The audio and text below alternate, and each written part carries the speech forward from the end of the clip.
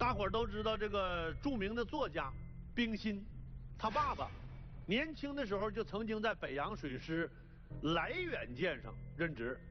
哎，冰心回忆啊，就说他爸爸经常的这个出海远征，一回就几个月。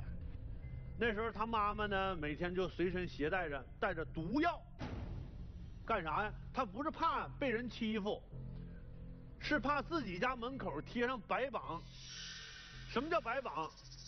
咱顾名思义，一听就明白了，白色的对联白纸贴的对联谁家门上贴上这个，就说明谁家参军这男人牺牲了。那冰心她妈妈就打定主意了，说自己丈夫要牺牲了，她就准备随时服毒，随丈夫而去。那当时啊，在福州参加海军的人很多呀。可以说，几乎家家户户门口都挂过白对联那都是一个又一个用生命换来的这个白榜，大伙儿能想象那当时那个惨烈的画面吗？所以，咱们回到节目开头讲的这个事儿，如果说这个丹东港的员工发现的这个真是甲午海战的沉船，就哪怕不是致远舰。那也得把他给捞出来。百年前的那些孩子的父亲，护国的将士，不能让他这么被遗忘在冰冷的海水里呀。可这话说起来容易，做起来难呐。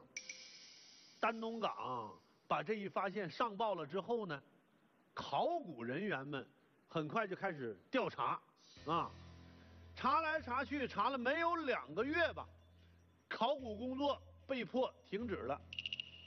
那是这谁在里边捣乱呢？嗨，不是别人，就是咱们东北啊，这个冷空气。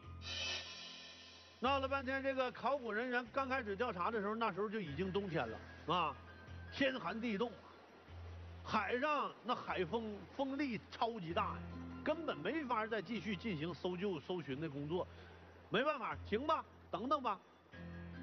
等到了来年，也就是到了二零一四年的春夏这个时间，考古人员们终于复工了。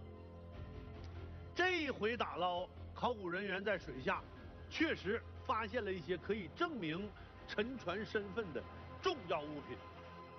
什么物品呢？是一些一百年前的沉船的残片和煤炭。咱把时间往回一推，你看。一百来年前，那不正好吗？就是甲午海战的时候吗？但要问这是不是致远舰，考古人员们都不敢肯定。